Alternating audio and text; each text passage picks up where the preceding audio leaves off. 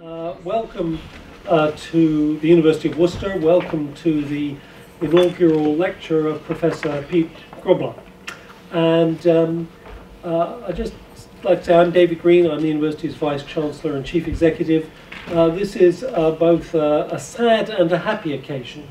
it's a sad occasion because Piet, who's much loved here at the university, left us in the summer to return to his native South Africa after a terrific uh, period of nearly nine years, I think it was, uh, working here at the university. And um, uh, Piet is just uh, one of the most popular and charismatic uh, lecturers, teachers, inspirers, and illustrators that you could possibly hope to meet. Um, so uh, we were really sad when Piet uh, left the university, while of course supporting him uh, personally uh, all the way. Um, now Piet is one of the world's leading children's illustrators, and anybody who's had the privilege to uh, uh, read and to look at the any of the books that he's illustrated, and David Broster, who's head of the Institute of Arts here at the university, is going to read the citation so I'm not going to steal lots of his thunder and tell you about all of Piet's many, many accomplishments, but believe you me, they are many. Um, but it's just a privilege to, uh, to read Piet's books, and he's got a wonderful way of connecting with children across uh, cultures, across continents. Um, so, uh, and he's certainly inspired many uh, uh, people uh, here at the university uh, many students who've gone on themselves to have terrific professional success uh, and, uh, and many colleagues. So we are delighted, it's a happy occasion to welcome Piet back to the university for his inaugural lecture as a visiting professor. And all I can say is that we hope that this will be the first of many visits of Professor Grobler to the university, where he will always be a much loved colleague and friend. So, uh, ladies and gentlemen, let's just have our first round of applause for Professor Piet Grobler.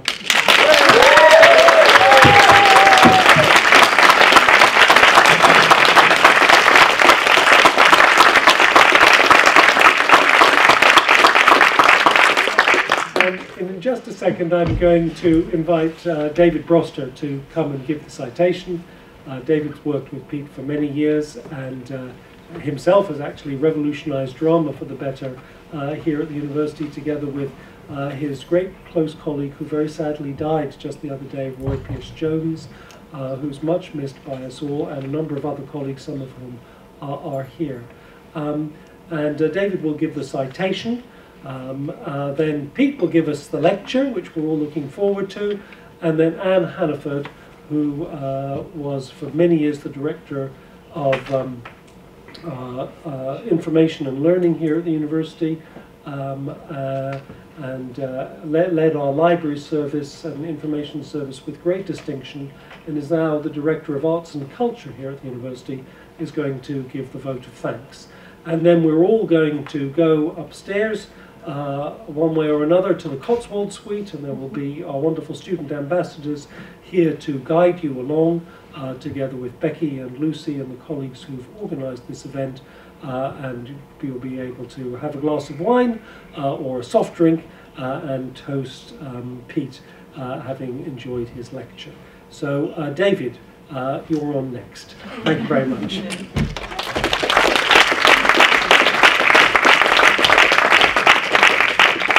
Thank you, David. Just move the telephone out the way. Okay. Now, normally, for an event such as this, I would stand here and I would tell you that tonight's speaker, Piet Grobler, is that right? Close. Okay. I had lessons before. I had lessons. He's an internationally renowned illustrator with over 80 titles to his name. I would probably tell you that Piet has won prestigious awards all over the world. I would also tell you that Piet Grobler is one of the world's leading picture book illustrators, that his achievements include a Golden Apple Award at the Biennale for illustration in Bratislava and two silver medals in the Japanese Noma Concours competition. I would also doubtless share my enthusiasm for the lecture that lies ahead. And indeed, I do. But this is no ordinary professorial lecture. This evening, we not only have the chance to hear a fascinating lecture from a leading figure uh, in this field, but we also have the chance to welcome back an old friend. And I use old advisedly. He's looking ridiculously well, don't you think? Piet Grobler first joined us here at the University of Worcester in 2009 when the illustration course was very much in its infancy. As the only lecturer on the course at the time, Piet immediately assumed the title of course leader, and that's exactly what he did. Over his eight-year tenure as course leader, illustration at the university grew from a fledgling course to a flourishing artistic community at the heart of a global network. With an open mind and appreciation for the values of diverse voices, Piet brought an outward-looking, international perspective to the study of illustration here at Worcester a philosophy encapsulated in the launch of the International Centre for the Picture Book in Society in 2014. And Piet was instrumental in this process, leveraging his experience of illustration as a truly global art to help infuse the International Centre with the strong flavour of the many and varied voices uh, with which the illustration of art, illustrative art speak in different cultures all over the world. Now, growing up on his family's cattle farm in South Africa, Piet spent much of his childhood absorbed in the natural world with all its glorious complexity. He observed and sketched animals that he found there and began to perceive not just their form, but also their characteristics and their behaviours. And indeed, I have it on great authority that one of Piet's great party tricks is to be able to match a person to the animal he feels they're most suited to based on their personality, a potentially disconcerting ability as well as being an amusing party game, this talent goes to the heart of Piet's art, helping him decide which human characteristics might best bring the animals of his illustrations to life. But despite his huge talent and natural affinity with his subject, for a young man growing up on a farm in South Africa, illustration was seen as something you did as a hobby, not as a job.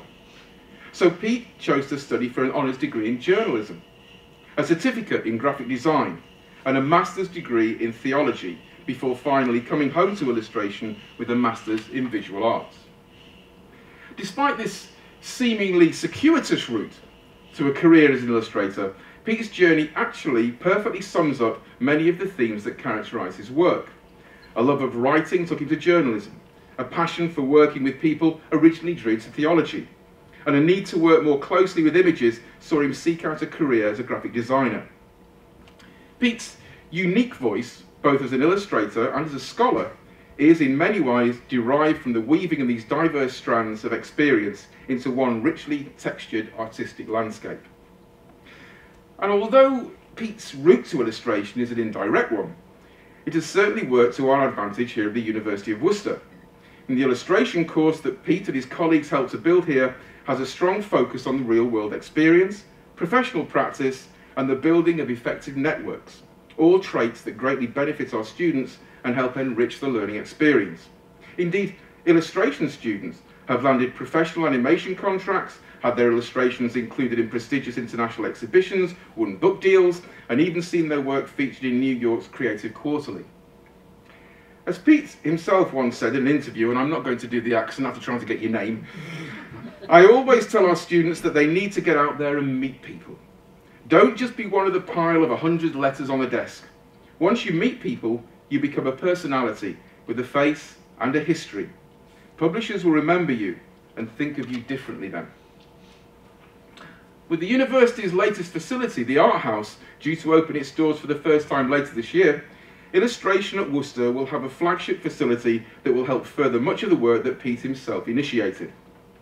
Set in the very heart of our community, and with the facilities to accommodate public exhibitions and the space to host children's activities, the new art house will serve as a beacon for our inclusive approach, harnessing the power of art to bring people together and working to enrich the local community in which we make our home. And for Piet, illustration is a democratic art, an international art. Again, to borrow his own words, in illustration you're trying to communicate, to get a message across, it has a relationship with the text it addresses. It's like a tango. Each half of the partnership have different moves, but they have to work together to make one dance. And this is the relationship between image and text. This is illustration. A thoughtful, insightful scholar, a skilled practitioner, an internationally renowned artist, and a highly esteemed colleague, and a much loved friend. It was a great loss to us here at the University of Worcester when Piet decided the time had come for him to return to South Africa last year.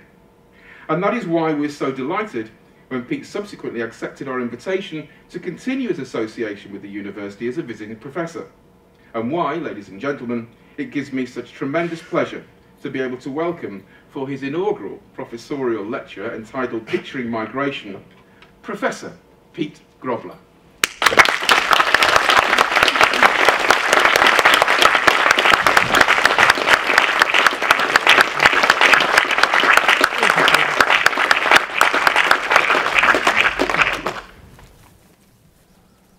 Professor Green, governors, fellows, University Leadership Group, colleagues, students, and friends, thank you for having me.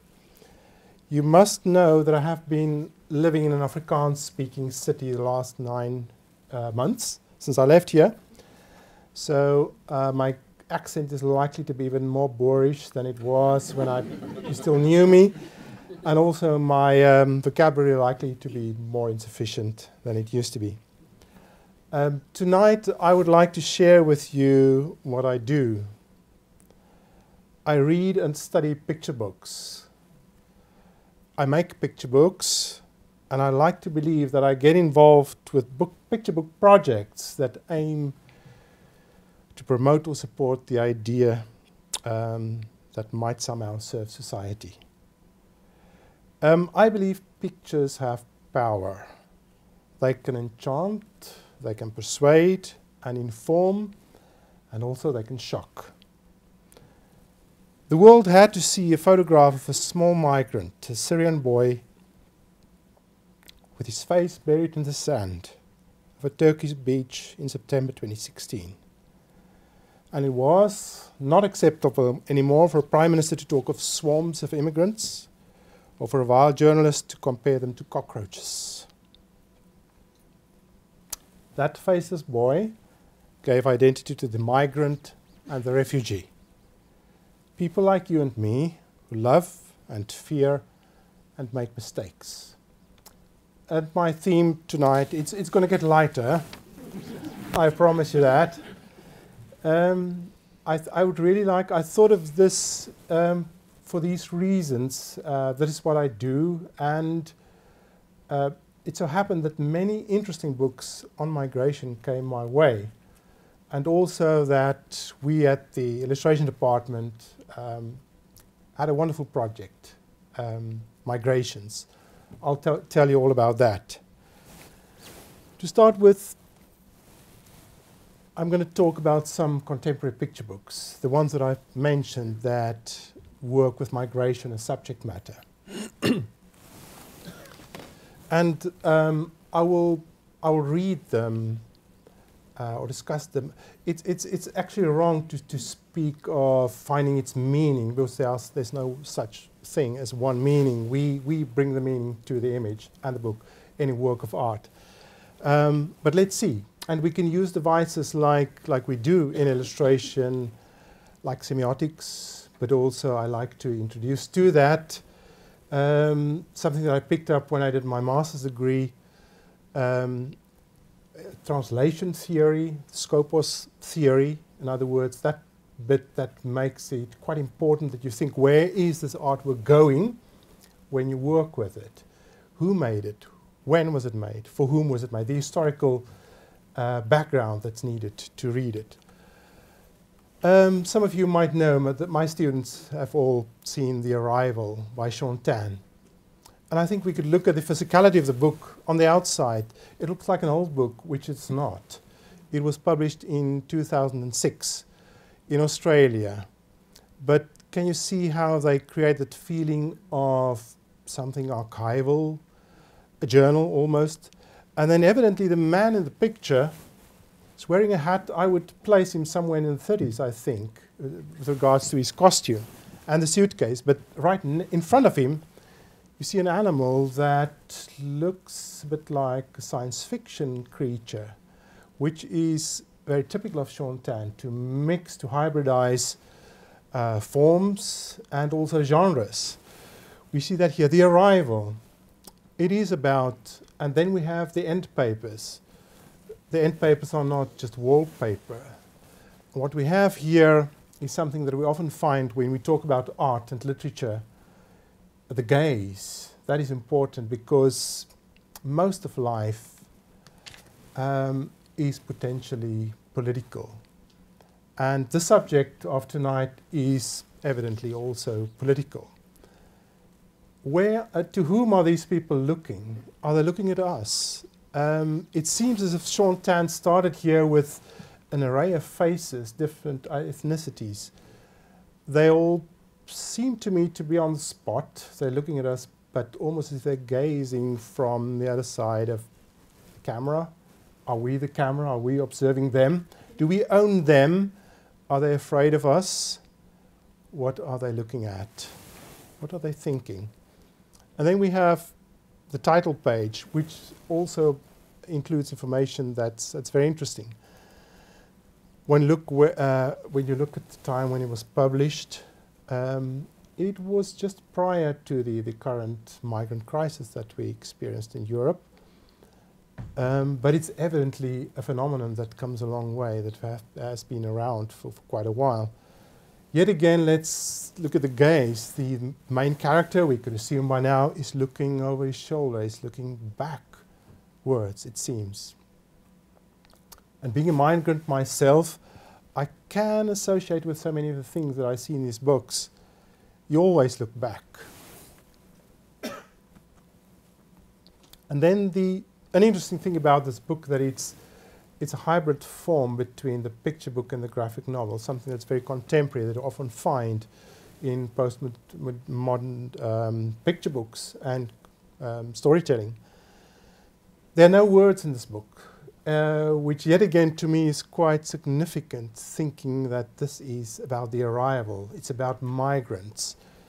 Very often, um, another thing I see some of my colleagues here specialize in literature, we all know the, uh, the, the, the, theme of the other in literature and in art, which is very uh, prominent when we talk about uh, migration and migrations.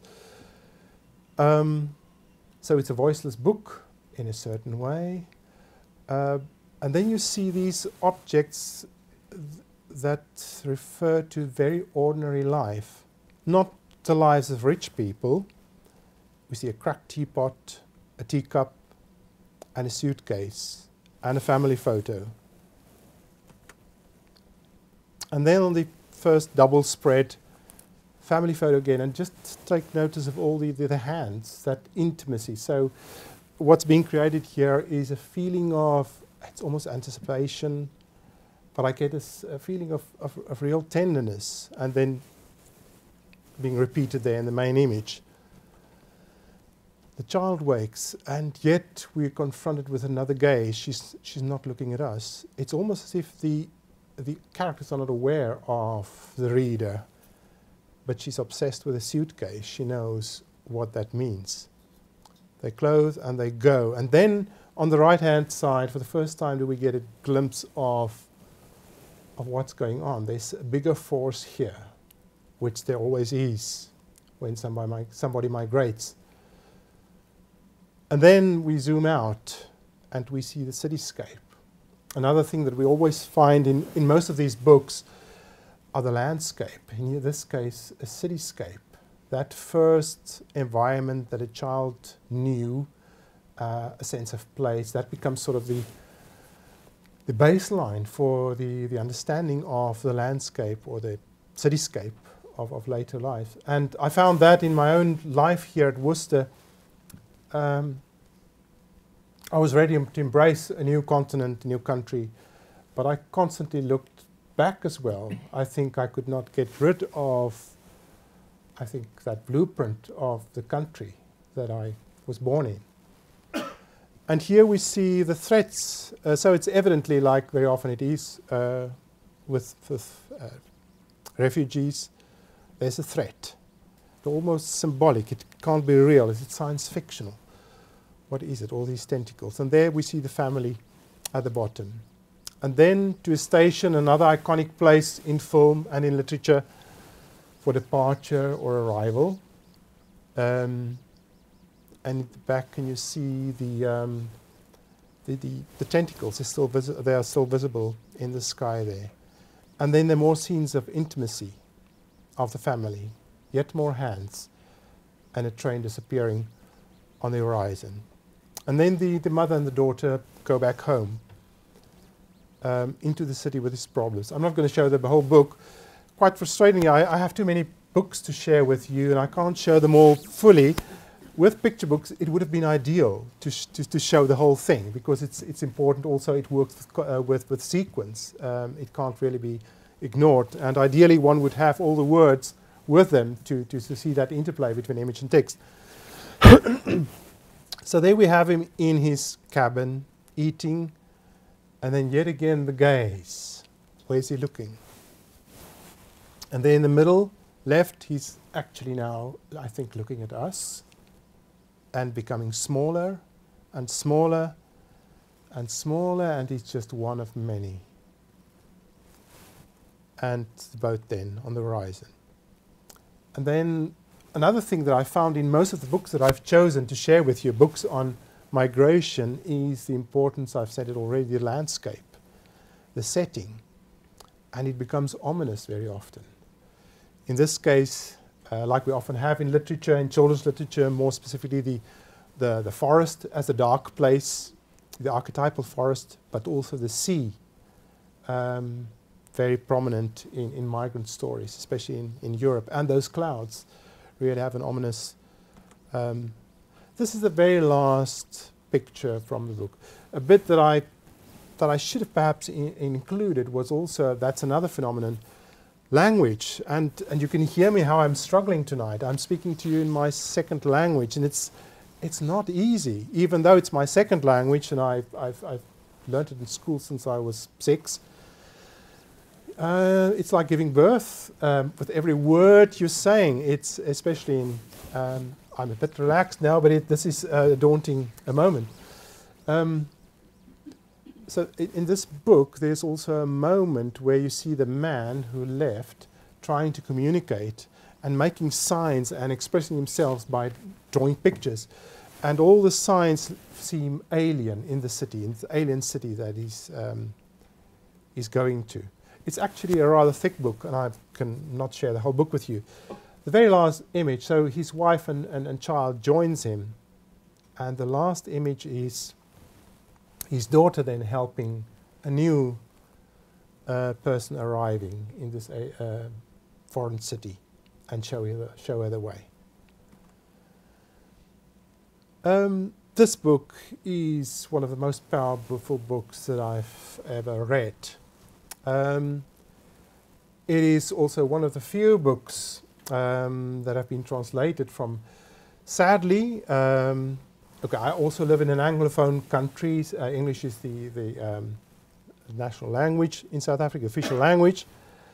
Um, the Anglophone lang uh, countries do not have a good record of translating, sadly. I think something as low as 1% of the picture books that we show, or we buy, or we offer in the Anglophone countries is, is from elsewhere, from other countries and cultures. And that says a lot um, yeah, this book is called The Island, Die Insel. Uh, what I forgot to say with the previous one, important information, that Shaun Tan is an immigrant child. He was born in Thailand. He lives in Aus Australia now. Important information that I forgot.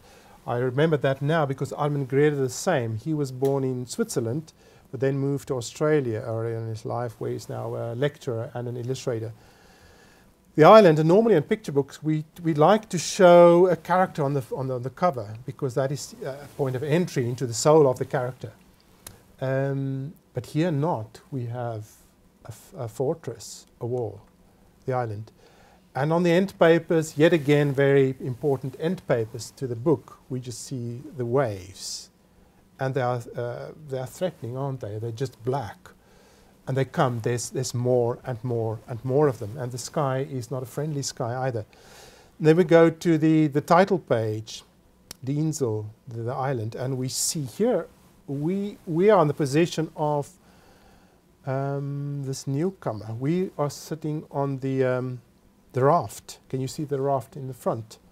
So that's where we are being put, placed, and there we have it. Uh, the text there says, one morning the, um, the, the, the, the inhabitants of the island found a man on the beach where he was he, landed there because of, of, of fate and of, of currents and there he was um, and he stood up when, when he saw them and he was different from them and yet again we are fixed by the gaze of this person looking at us and what is our position that we are taking when we're looking at them and then we see the islanders and he said, uh, yeah, they were not like him. They, they're much stronger, well fed by the looks of it, and threatening. They have tools in their hand. And they asked him what he wanted. Yet again, language was an issue, of course. And they said, uh, the, and um, it's not a good thing for him to, to, to, be away from his own people. Here he is. There's not much here for him to do. Uh, the fisherman, however, knew how rough it was in the ocean, and he had he was more sympathetic. The text says. Um, it was he escaped death to, to be here. Uh, we, we we have to take him in. He said. Okay, so then they take him in. That's how they take him in.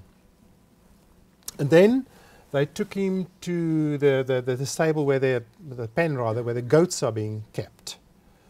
Uh, that was for a long time empty now at, at the end, edge of the island, and that's where they will where they keep him. Where they will keep him.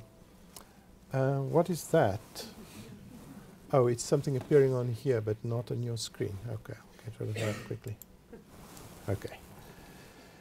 And then, uh, as you can understand, you get more and more stories spreading and rumors. Uh, he should stay there. He could, of course, not stay with us. He could not eat with us. He's too different.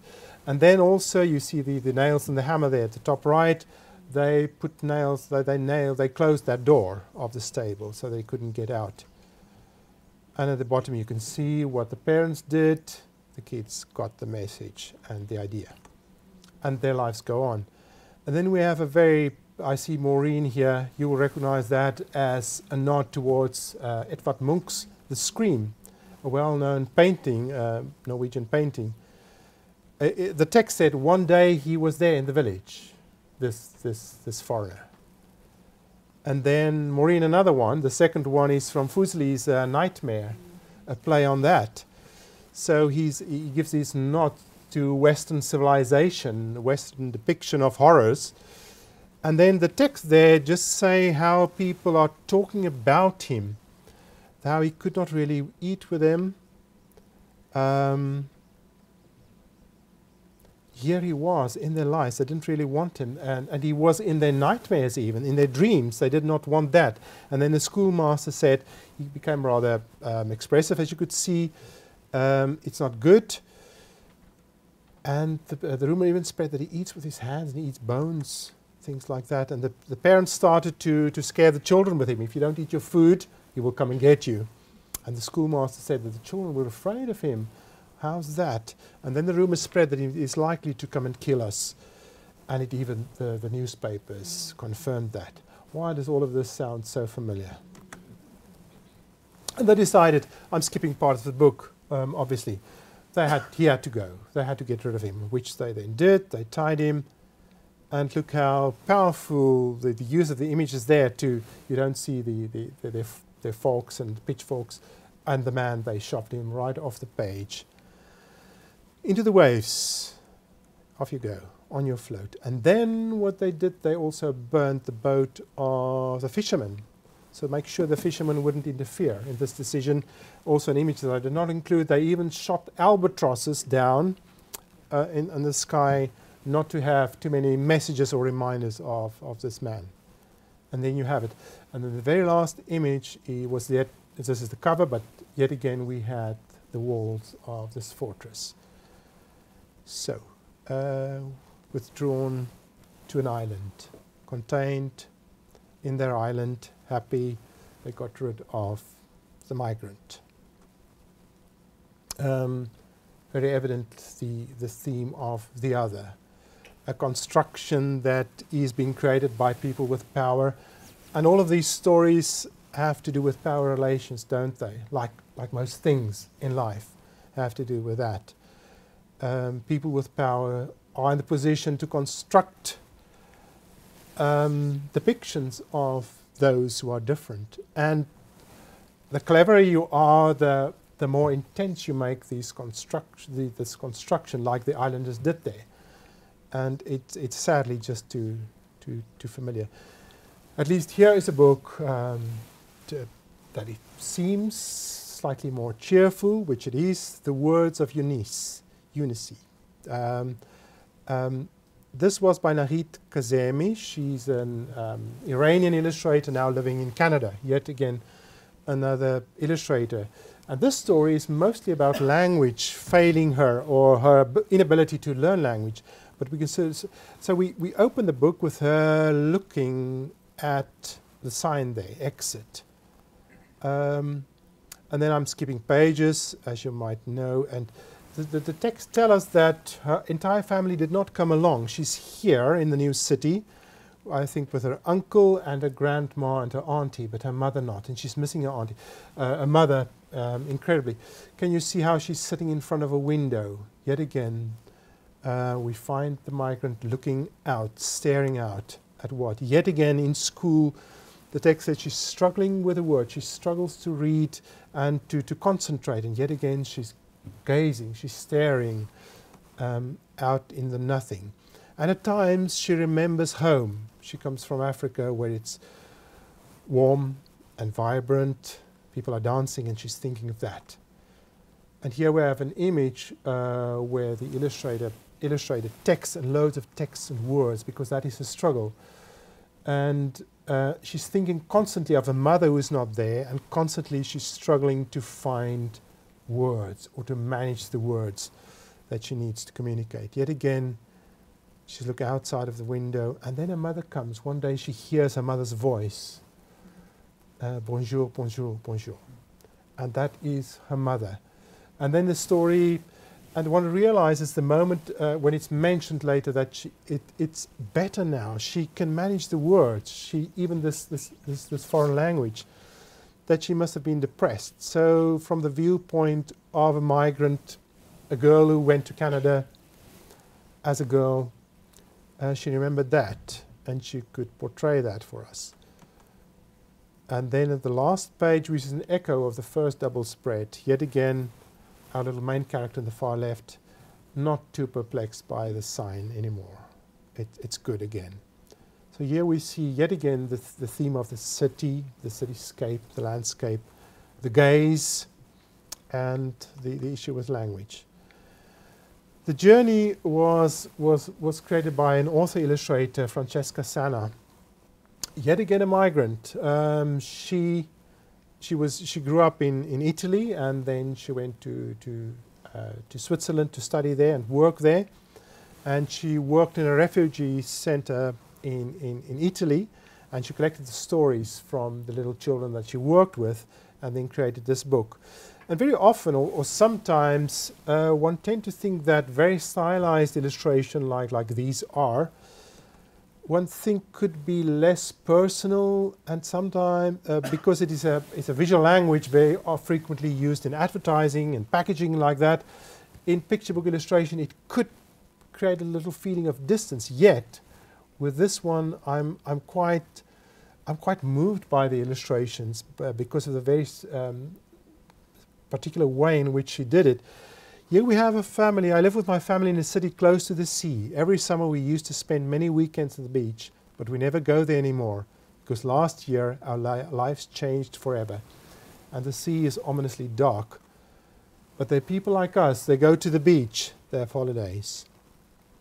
The war began every day bad things started happening around us, and soon there was nothing but chaos.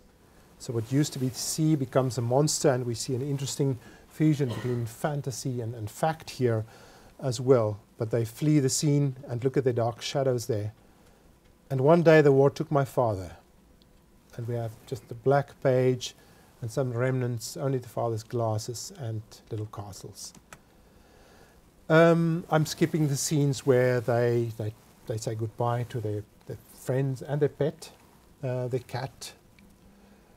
Uh, we leave at night to avoid being seen, and they change car on every other page.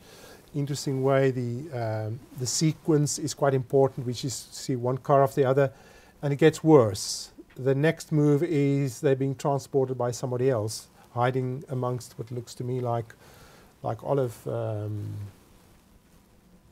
struggle to find English now. Big things. Jars. Four letter word and I can't get it.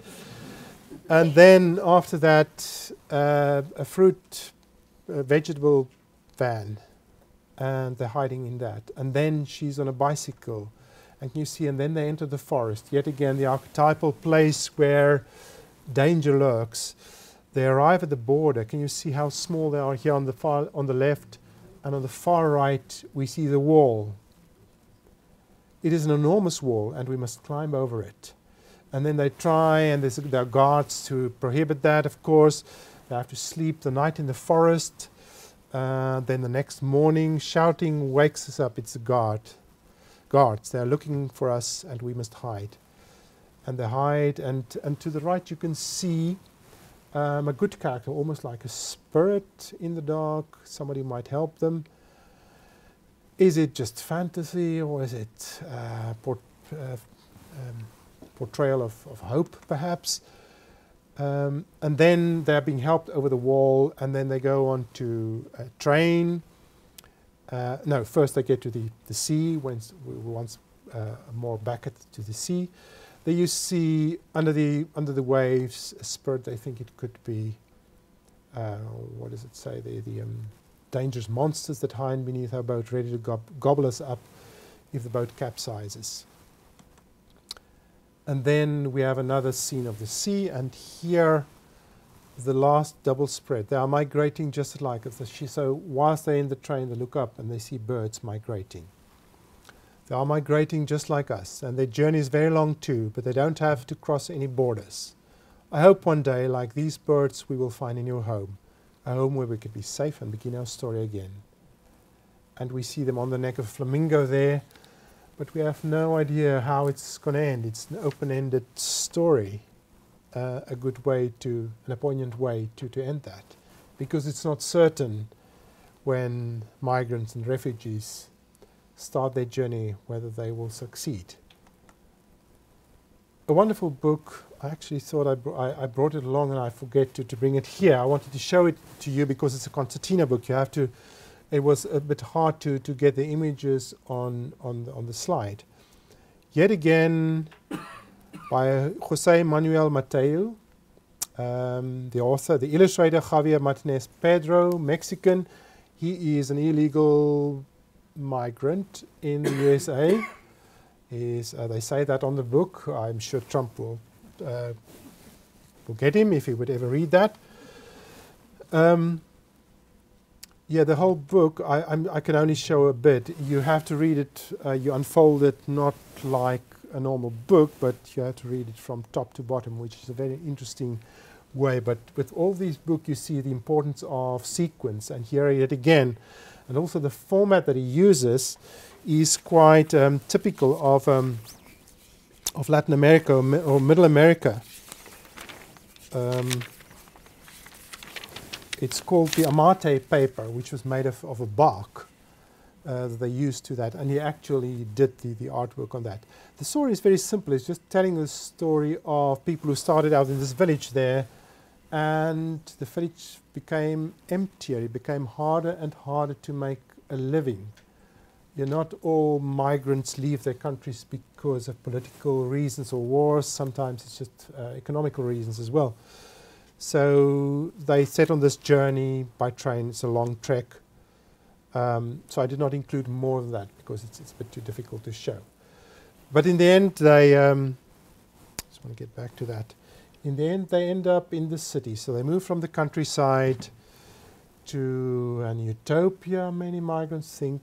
And as we know, um, cities are not always utopians. The utopias, they're very often dystopian environments.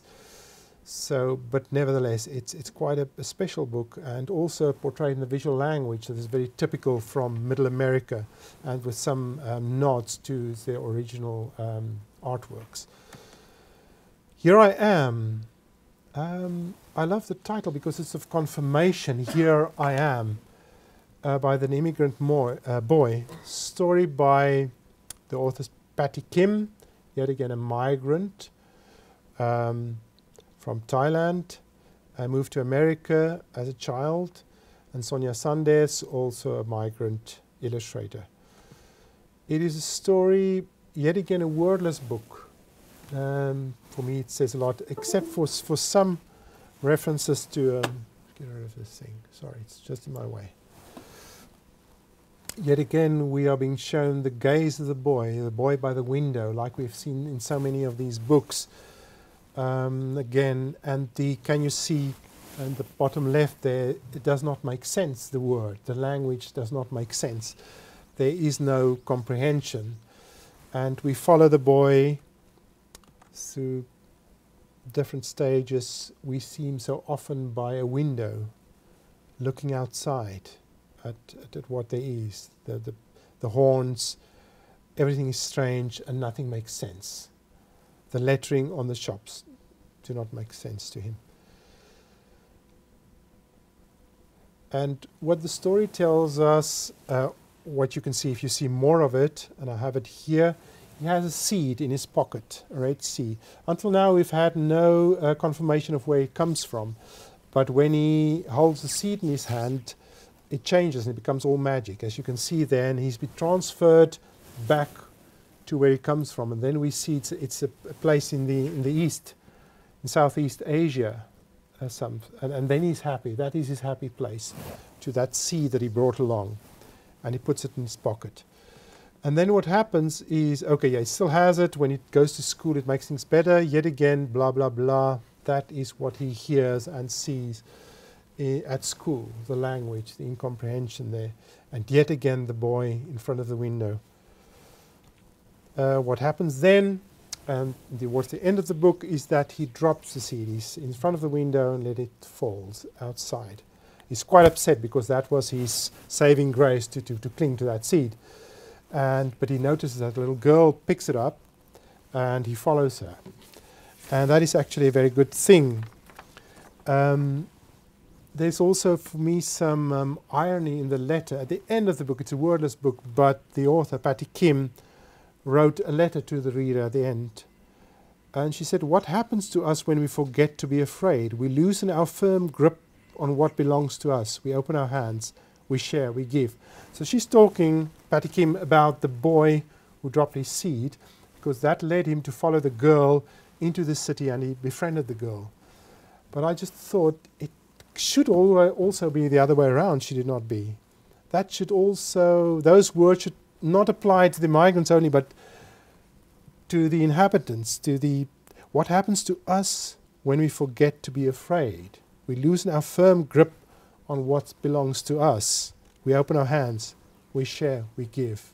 It goes both ways, but I thought it was quite quite um, brave of Patti Kim to say that on behalf of the migrants. Let us, uh, migrants, open our hearts and our hands and then we can embrace by doing so. I'm moving now to my own work. Uh, I mentioned to you that I'm a migrant, and my my poor English um, is, is, evident. Is, is, evidence of that.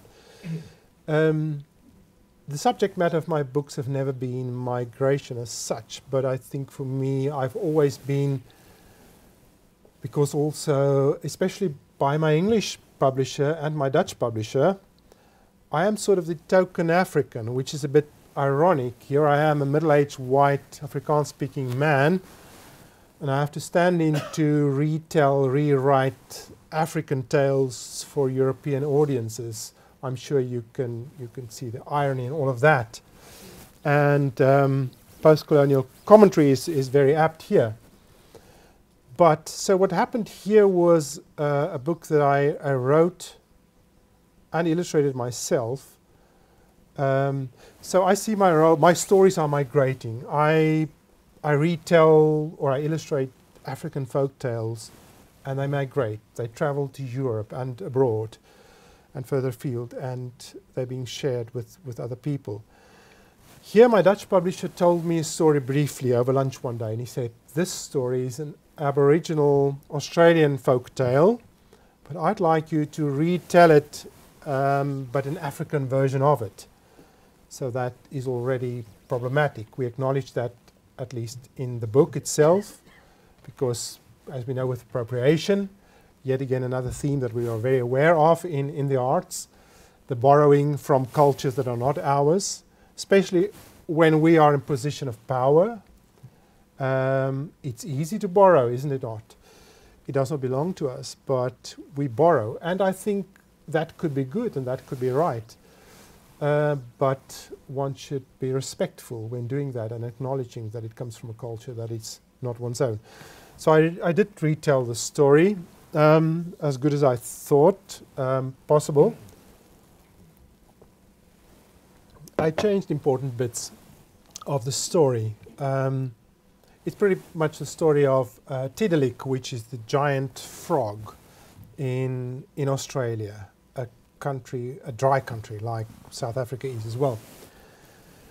Um, and this frog star is, is, is, thirsty and he drinks a little bit of water from the first the puddle in which he's sitting, and the next one, and then the brook, and then the river, and and then the lake. But he, he left the ocean because he did not like that.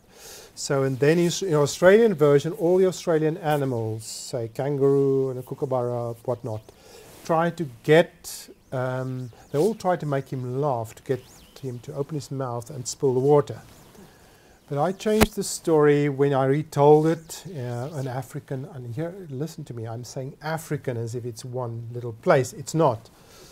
I'm guilty of that myself. Uh, this is a South African or Southern African version. One does not get African animals all across the continent. Um, they live like they do anywhere else in the world in specific places. But nevertheless, I changed it to the extent that I chose different animals and all of them behaved differently. They did not all try to make him laugh. They used rather menacing tactics to get the water out of the frog. So the lion said, I would claw him. And when he screams of pain, he will open its mouth and the water will come out. It doesn't work because frog, though full of water, is still nimble and he escapes. Um, there was a, I, I introduced a crow, and the crow says, I will curse him and, and slander him. And when he backchats, his mouth will, come, will open and the water will spill. Frog is just bored. He falls asleep. He doesn't want to hear all the talk. So it doesn't, it doesn't it does not succeed. And then um, the, um, the chameleon says, I will entice him, I will um, tease him with a fly. I'll show him a fly. We both like flies, and when he opens his mouth to eat it, the water will come out. But frog is so full of water, he does not want any food, so he ignores it. So in the end, I had the eels sisters, and they know frog because they live with him. In the, they know how he works. So they tickle him, and then he laughs and he spills the water, and it's all good again. So I introduced a mechanism of a, a different thing than the folktale I was told. So all of them used slightly menacing tactics to get it out, but in the end it was the friendly manner that, that released the water. So what I did was I went ahead, and this is this these this was my initial uh, illustration, and that one. Um, when you live in South Africa, you know, and uh, this story could have originated in South Africa, which is a dry country, as Australia is. So, um, as we all know, stories of floods often originate in, in dry places. Um, for me, my country, though there are many green spots, is a brown country, not a green country. So I chose a palette that is very dry. And then we have this expression when you would ever you would travel from the north of the country to the south, where it's a bit greener, near Cape Town, you would cross through the Karoo, which is a dry, arid, semi-desert. I would say two-thirds of the country is, is pretty much the Karoo. And we have the saying, it was so hot you could fry an egg on the bonnet of your car. Um, so I thought, I'll make the sun a fried egg, which I did then. And uh, my Dutch is fairly good. I was, I'm, uh, my, my grandfather was a Dutch immigrant uh, from Holland to South Africa, so my Dutch is my third language. It's fairly good. I think I know Dutch culture very well. I get along very well with my Dutch publisher, but I was foolish enough to think that this uh, metaphor would translate. It, it's, it's so place specific, a sense of place is needed to, to understand that. And he said, I like your pictures, Piet, but um, um, it's awfully brown. The expectation is in, in, in Holland then when you that when you tell a story about frogs that they would be green. You can immediately see um, okay, I, I, I, would admit to the, the fact that I was I was a person in power borrowing a story from Aboriginal Australia being in charge, Africanize it or South Africanize it. But I was colonized by my Dutch colonizer. He pays the bills, and that's how it works. So when he says the frogs are too brown, they are too brown. And then he said, and then your sun, it looks awfully much like a fried egg. I said, yes, that's the point, but how foolish of me. It cannot be a fried egg. Um, it never gets that hot in, in Holland or in England for that matter. So that was my frog. And that was what I changed it to then, so to, to green frogs. Um, then I'm just going briefly to show you a few images of to recreate it is so difficult to because you have to when you're an illustrator you can't recreate an entire environment can you? Sometimes you have to use iconic images. And it, in a certain sense, especially when I look back at it, looks quite lame for me to, I mean, to baobab and an acacia tree. That will do the trick. It will set the scene. And to a certain extent it does, and I think that's the way it works with semiotics, is not. You, you choose a symbol and it stands for so many other things. Um, but then also there's the personal element, and we all know that many of uh, I see many of my colleagues here who are creatives of one kind or another. Uh, one always hopes to put your own to, to have your own signature evident and visible in your work. I think I'm drawn to to humor. I'm often asked to do humorous stories, or the African ones, then being the white African, token African. Um, this book I did in a very long time ago. It was one of the first books that I've ever illustrated. And it's about a, a grandmother whose grandchild is born in, in Holland. And then she takes, she starts in Cape Town all the way to Holland. She gets onto a leopard from in Cape Town. There are some leopards in the mountain there. As Lynn would know, there's my friend Lynn, uh, fellow South African. Um, on the leopard, and then she goes through the karoo on the back of an ostrich and on the into the savannah she she gets onto the back of uh, a giraffe and so forth until she's in Casablanca. So right through Africa, and in Casablanca she takes um, a wild goose. Um, and in Casablanca, I, I, I, I, included bits from the movie there in my illustration. But here, um, I mean, the dangers of this exercise are so evident that I thought, okay, one way to, to preempt, uh, to, to solve it is to preempt it, spill the beans. So I included here, obviously this is the what I portrayed here is the view, a white man's view of a journey through Africa. So I, I included the far back you can see Livingstone. At least he was English, he's yours, it's not mine. uh, there he is with his um, bearers, the guys, the slaves pretty much. And I, I, I, I, chose to, to, to, to, give this grandmother a guardian angel, and I turned her into, I made, decided on a black angel. In the front, I included um, a freedom fighter, which is also part of the reality of South African history.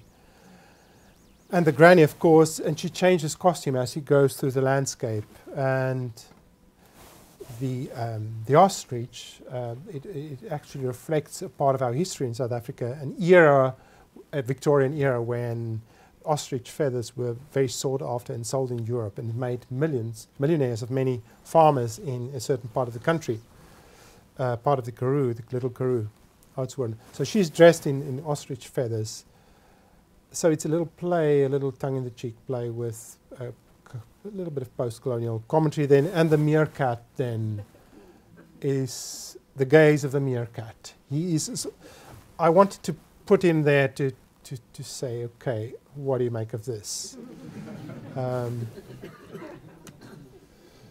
other books that I've made, it's complex, and I have been. When I made they made this book, there was one journalist that's, that said she find the little girl ugly Another journalist said, no, she's, she's cute. But it's almost as if you're, if you're a white man illustrating a, a, a black child, and if your visual language is very often humorous, cartoony, caricature, you cannot get it right. It does not matter what you do, you cannot get it right. And I've always been consistent, at least. My, my human characters are never very pretty, and I don't know whether I'm deep down uh, making fun of all people, or do I hate all people? But I tend to give them large noses, sharp teeth, and things like that. Um, but at least all my characters, irrespective of their race, are comical. So I think it was a bit unfair. So you have the little girl, it's, it's a Red Riding Hood story, but it's Makwelane and the crocodile. So it's a crocodile. A, a, really beautiful story told by Maria Hendriks. Different from the Red Riding Hood, but an African retelling. And yet again, my understanding of the landscape. The landscape can only be somebody's view of it. And you'll have to take my word, that is how I feel the landscape. It is brown, it is the savannah. I grew up on the Springbok Flats, which is flat um, in the northern part of the country. Even books that were very European, this was a Dutch story uh, by, of course, Meindert Harrie Jekkers, The Ballad of Death, it was called. A brilliant story about death, but sort of the kind, um, it was about a king who was afraid of death and they captured death in a glass dome, tried to keep captive, and then life became unbearable because they couldn't stand the fact that they would live forever because they lived for ages. And then they released death, and obviously the king is the first to go. Um, but it's also a beautiful story because it just shows that it, it would be unbearable if we lived forever. Nevertheless, um, a spoonful of sugar makes the medicine go down. So I, I, approached the whole story. The first time out, when I did it, it was rather grim. Um, charcoal, collage, and the Dutchman said, mm, I cannot sell this, which is part of the reality of making book. If he can't sell it, it, it will not work. Um, illustration is an applied art. So this is how I portray the characters, and without really realizing until I finished it, it's, most of them are African animals. Uh, except there is a, a, a, stag there to the left, the one with the yellow pajamas, as you can see, which is not, not from my continent, thank you. Okay, and then other books. And I think hybridity, which is sort of a solution to this whole issue of the post-colonial issue that, that we have, that the colonizers create a view of the other or the colonized, the people without power. Uh, a solution is to to hybridize, and I think the term is being recognized as such in in literary theory. Um, and I tend to think that I'm, I'm trying to do that to it is tricky that you, you can imagine my grandfather was Dutch. I was born in Africa. I moved out of Africa and back. Um, I cannot get the place out of my system. Um, so where does that leave me? I'm not sure. A hybrid? Yes, I'll settle for that. So therefore, when I did this, the, the publisher was slightly wary of the fact this is a bit gruesome for English taste in picture books that the elephant would eat, though it, it happened in the story. But she wasn't sure about that, but she let me to do it in any case. So he's eating the elephant, but they get the better of him. So he eats loads of kids, and then they make a fire inside him, and they cut their way out of his, his tummy. I did not write the story, I mean, but I get it. There's another fellow South African dies also here. I think we understand the harshness of the continent. Uh, very often there's no beating about the bush. The, the realities are harsh. So I try to, to, to, to, to find uh, a middle way between the, rea- the harsh reality and what is accepted um, in the code of, of, of storytelling in, on, on this continent. No, you're an island. We're an island. It's not a continent, is, is it? Fiddle-dee-dee. This book is still to be published in 2019. Um, I'm just showing it because it's yet again my version here. I clothe them. I try to clothe them, um, dress them like old hippies, I think. that was uh, it's possibly where I would find myself soon. Um, uh, that one. So that is my latest book. Uh, then yet another thing that uh, you might have spotted. I think you had a similar incident here, and they had it in Sweden as well, where idiotic people in marketing and advertising um, portrayed a black kid wearing a monkey suit or something like that. Did, did you did you hear that story? Yes, it was here. The same thing. Lo and behold, you cannot. Um, believe it, but more or less a month after it happened here, the same thing happened in South Africa. You say, how could I be so stupid? But I think sometimes it happens without people being menacing. It's just um, insensitivity, perhaps. Here I was confronted with the same thing because the monkey is the main character, and if you if you have an African setting and if you clothe them, you have to be careful. So that's why I went for a bit of a laid back, cool, hippie um, outfits, though. So, one solution that I did find was to include in the end, on the very last page, also two children. There are no children, and ideally, I would have liked to have kept the book like that, just having animals as the main characters. But the text ends um, something about doesn't make your feet each, does it not make your feet each itch too?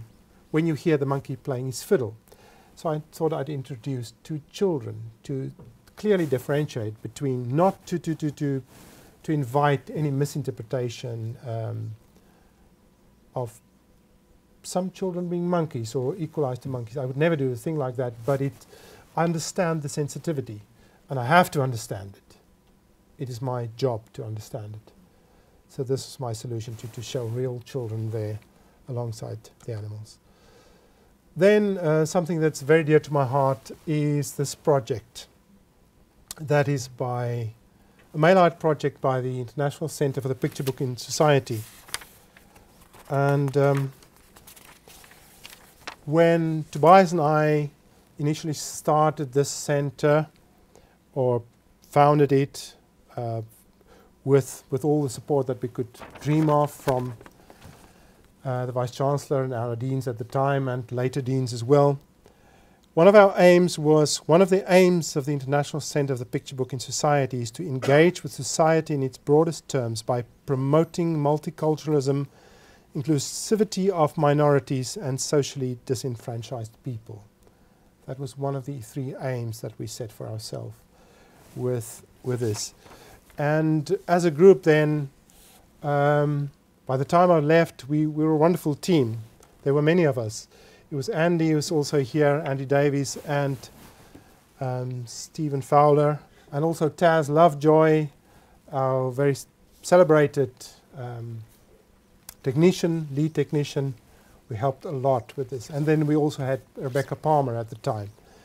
And in a group, we, we had this opportunity to, to do something. We asked for it and we got it um, at the Biennale for Illustration in Bratislava, which is the biggest biennale for published picture books in the world. It does not get any better to get a slot there in a gallery. So we grabbed the opportunity and we brainstormed. And I think, Andy, it could have been you talked about birds, and we thought, why not birds migrate? So let's make birds. So we decided to invite illustrators from all over the world to illustrate as a bird. It could be a fantasy bird or a real bird. There's Peter Horacek there, a fellow of this university. He also, also sent us a bird. Um, and we got the spectacular number of um, 350 birds, and it's still growing. It's still open until this Bologna Children's Book Fair in, in a week's time. Um, so we got from the most prominent picture book illustrators in the world took part in this. I'm thinking of Isol. She was a winner of the um, Astrid Lindgren Memorial Award, same award that Shaun Tan won. A massive uh, cash prize of 500,000 euros, not to be sniffed at. And Roger Mello, who was a winner of the Hans Christian Andersen Award. No money, but loads of prestige. They call it the um, Little Nobel Prize. Um, people like that. And of course, all of our staff. We got cards from all over the world. We would still like more from certain countries. And, and, and there's also something in, in, in that, the statistics, if you look at who, who responded and how they responded, that is worth taking notice of and taking care of. I did my utmost to, to, to invite African illustrators. Interesting thing about African illustrators, um, I approached people in Ghana that I knew, also in, in Kenya, also in Botswana. And the strange thing, I'm in no position to, to, to, to speak because I migrated myself from Africa to Europe. Most illustrators move. They seem to be a species. I mean, you, all these illustrators that I showed to you seem to be migrating. We seem to be a species that like to, to just fly off with the swallows and, and follow the summer. Uh, but we have too few from Africa. Um, we got some, they send them from France very often, especially Francophone African people go to, to France to, to work there in Paris. Um, that is the photo that you see there is at Bibiana, the, the House of Culture, Art for Children in, in Bratislava. And this endeavor, the Bratislava Biennale, is being supported by UNESCO. So this is really a wonderful opportunity that we had to. Um, and one of our aims with this project was as follows. I'm going to read to you, um, and this was sent to the people in the brief. We said migration hopes, migrations hopes to draw attention. Migrations, the title, hence the, the S there, to draw attention to the plight of thousands of children and their families who are, as a result of oppressive regimes, violence, or poverty, forced to migrate to safer places in the world. Artists may not be able to change regimes, influence governments, or save the migrants, but they can raise awareness of a reality that has become part of the contemporary social political environment. As visual storytellers and as communicators, we can continue to pose questions and challenge indifference through our work. At the same time, highlighting, highlighting the positive impact that the migration of peoples, cultures, and ideas has had across the globe. So, um, and it worked. We had we had wonderful responses. So that's in the House of Culture, and I include a couple of images alongside that. We had two-dimensional images um, by all of our staff members. So that's one by Andy, one by myself there. And Tobias had a three-dimensional thing. He made a series of exploding clocks and all the um, a wonderful. All I can I point out that every single bird he cut out of balsa wood with his two precious hands, and and colored it. it it's a spectacular installation that was. It, it, it um, enjoyed a lot of attention.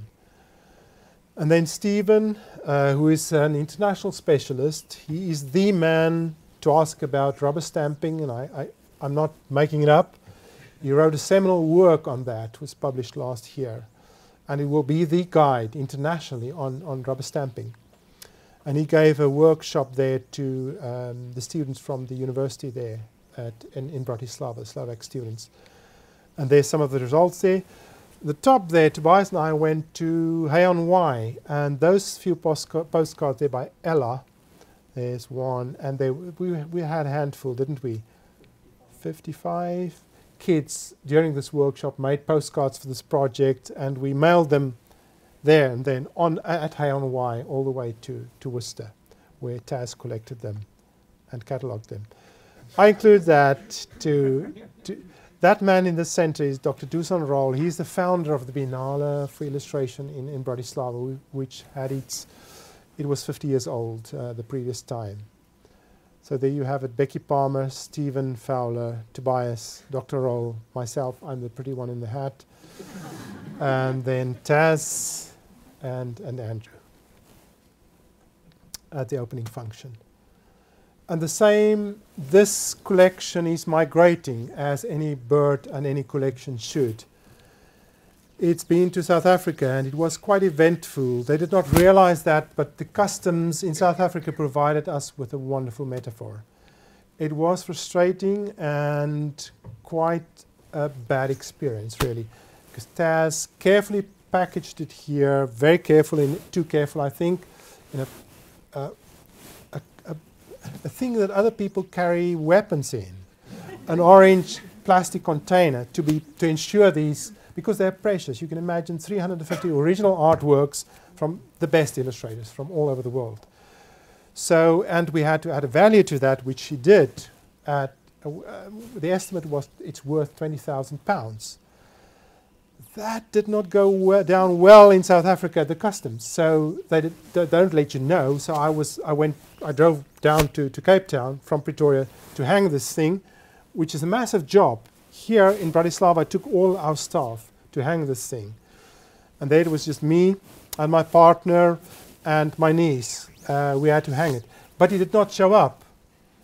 Um, it was meant to go up on the Wednesday. The, the, the fair started, the book fair started on the Friday. It did not go up because it was not released. And then a series of phone calls, several phone calls, angry phone calls, and later I gave it over to the organizers of this rather prominent book, book uh, festival in South Africa. Um, and they were adamant uh, postcards can't be this valuable. And then we explained how, how come they are this valuable. And then they said, okay, it, in order to release such valuable artworks, even though it was not there for commercial purposes, even though it was there for educational purposes, you have to pay up. It's a massive sum in South Africa. It is 108,000 rands, which is 6,000 pounds, which is also a hefty sum. I mean, obviously the University of Worcester is not going to pay that. Um, the word, the festival in South Africa was not prepared to pay that. Who, why would we pay that? It's ridiculous. It should not be paid. And they said, no, you can claim it back. Nobody would take a chance like that, so we did not. And so the, the organizer of the Word Fair spoke in person to the, the customer and said, we really need this. What shall we do to get it? They said, fill in the forms again, but do not say that it's worth 330,000 rand, in other words, 20,000 pounds. Say it's worth 25 pounds, which they did, and within half an hour, we had the postcards. So, do I need a better metaphor that this dead brick wall? And these are just postcards, they're not human beings. They're postcards that, that struggle to travel um, over the borders, struggle to fly. That is Roger Mello, a Hans Christian Andersen laureate, looking at his own postcard. He was also there in South Africa to look, to look at it. This man and he left without leaving us his name, and he did also not write his name on the back. So, but we, we are in the process of, of tracking him down. It's a beautiful story. In Bratislava, this man, I don't know whether you can recognize the photo there. We all, it's an iconic photo. It's set in New York. These construction workers. Um, this man came to us while just after we put it up, and he said, "Can you put up mine as well?" Here, I made a postcard. And he said, The man on the right in that photograph is my grandfather. So he illustrated a little bird, a crude little bird, on that bar. And I thought, it does not get better than that. What a beautiful story. And then I, I'm overstaying my welcome now. Um, I'll just wrap it up by showing you a few of the postcards that we received. Andre Neves from Brazil. Interesting one. Axel Scheffler, the Gruffalo man, whom we've had here at the university to speak, is uh, from Germany but also British. Also interesting, his postcard showing a customs office and the birds arriving. It is it's a luxurious way of looking or thinking about migration, is it not? The, the office. To many people, it's not an office. There's no option of pleading your case in front of a human being. You get on a boat and you survive or not. Isol uh, from Argentina. That's a artist's name is just Isol Maricenta. Life is Movement. Uh, she's a wonderful illustrator, one of the best and most uh, highest uh, accoladed illustrators in the world. Marit Törnqvist, she's from Denmark, the Netherlands. She's an activist for migrants, uh, but also a picture book, uh, celebrated picture book um, illustrator. What did I leave? What will I find? My new home will be where new friends wait for me. So the, the illustrator had the option to, to share any message of their choice. It could be a message of hope, it could be a quote, and some of them quoted poems. Um, and in her case, since I know Marit a little bit, I think she's angry as well. That bird is, the red is quite poignant there. She's quite a, a feisty, she's an activist, but also a beautiful message there. My new home will be where new friends wait for me. Also interesting that Marit leads two lives. She lives between Denmark and, and the Netherlands. And then Shaun Tan, that I um, talked about already, he was gracious, so gracious to have given us two postcards, made originals. And I hope they will survive all the many um, journeys of this collection. I have not mentioned yet, they want this in Brazil, in Rio de Janeiro, Brasilia, and Sao Paulo. But first, it's on its way now. Rehan has uh, agreed to take it along in person this time. No customs, no DHL. Um, she happened to, to be visiting her father, so she agreed to take it along. It will be in, in Korea, in a place, um, yet again, it does not get any better than this. It's a Nami Book Island. Nami is uh, one of two islands owned by really old Korean money, really rich Koreans. And these people, they are the sponsors currently of the Hans Christian Andersen Award because it's, it's an expensive endeavor, this, this massive competition. As I said, it's been named the, the mini Nobel. So these, this book family, on one island, for lack of a better word, they've created a theme park. It's a, called a book island. And you go there with a ferry, and it's just books and stories, workshops. I've not been there, but I'm uh, very happy to say I have been invited to be on the NAMI Concours, their um, competition. I'll be on the jury, so I will be going and visiting NAMI in September. So our collection of postcards is heading for Nami Book Island and to Seoul as well. It will go in a, in a gallery there. It does not get any better than this. And then when we open the art house, um, I, I, think we're not sure when yet, uh, it has to hang there. I think this collection has to hang in a, in, in a special place there. It, it, deserves to do that. They want it in Japan as well. In Japan, they often make city tours, museum tours with these things. Um, they have an idea of five cities. that hasn't been confirmed yet, but they want it in Brazil, and NAMI is happening right now. Um, Muhammad Barrangi. Um, what I find so beautiful about many of these is how people speak from the heart, from the gut. You can, you can see the cultural background, you can see the signature. Sometimes you can see the landscape uh, from which these people are making their art. He's evidently from Persia, from Iran. He says, My dream for everyone all around the world. There's a language issue here all around the globe is to have a legendary bird that can fly to wherever they, wherever that they love to travel without fear. Having a good life is everyone's right. So try to make these wishes become reality. Uh, Muhammad has just been, uh, he's just moved to the UK. Um, he's a disabled um, athlete. Um, he has a, a, distorted arm, but he's, he's a sprinter, but also an illustrator. Beautiful story, I thought and so he lives between Iran and here, but currently he's, he's living in the UK. Perhaps this, this comes, Shaun Tan wrote a wonderful foreword that I would like to read for you, and I'll tell you about um, this foreword. Perhaps this is where a humble exhibition such as this, contributing to millions of other small and large humanitarian actions happening simultaneously around the world, can actually make a difference. By creating, looking, and asking questions, confronting despair, we invest back into an economy far greater than any stock exchange, more ennobling than any political system, and far less compromised.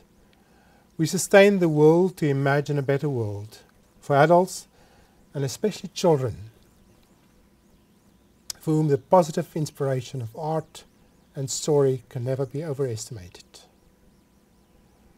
He wrote this, uh, we asked him to write a foreword to our exhibition, the opening exhibition at Bratislava, and it will also be the foreword to a book. So Otter-Barry Books, they're a sponsor of Illustration Prize here at our university.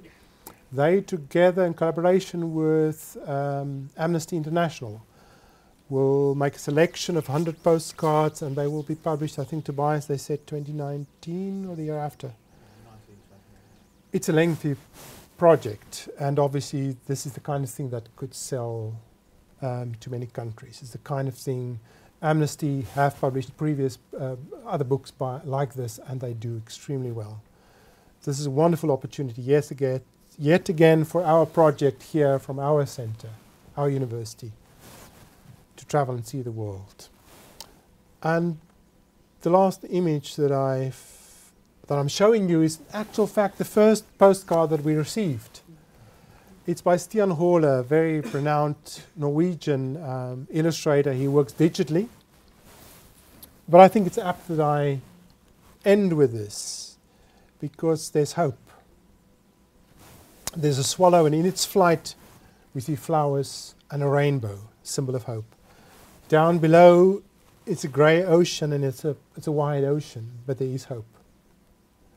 Um, yes, I, I would like to, to, to end there and to, to say thank you for this honor. And I'm very thankful that I could be part of a university that values things like this, this kind of project that we've been only receiving support from, uh, from all the lines of management above us.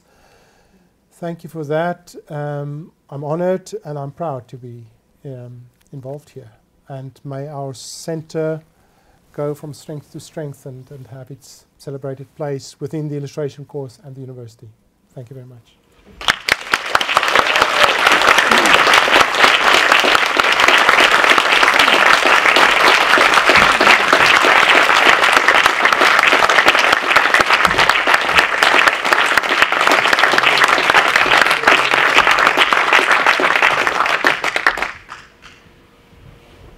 Was just extraordinary.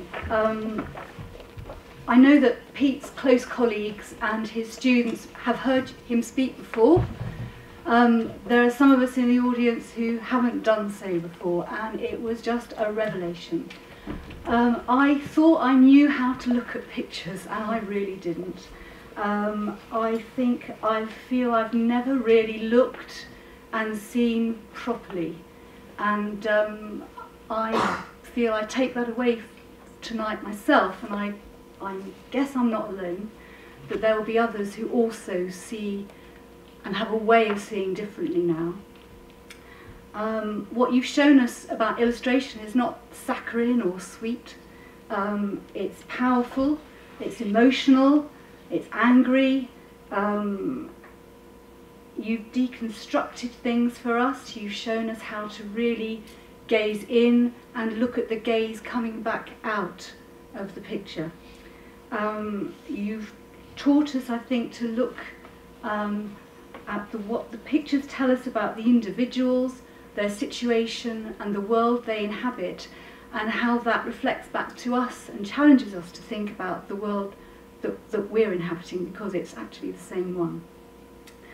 Um, so it's, uh, it's been a huge privilege to hear that. um, I feel that um, it's something that will live in all of our memories, and there will all of us will have taken a different image, a different moment of what you've been talking about, and, and it will stay with us always. So, you are an amazing communicator, as well as an amazing illustrator and a wonderful teacher. And if that's what being a professor is about, then maybe we should all try to be like that. Okay, so thank you very much.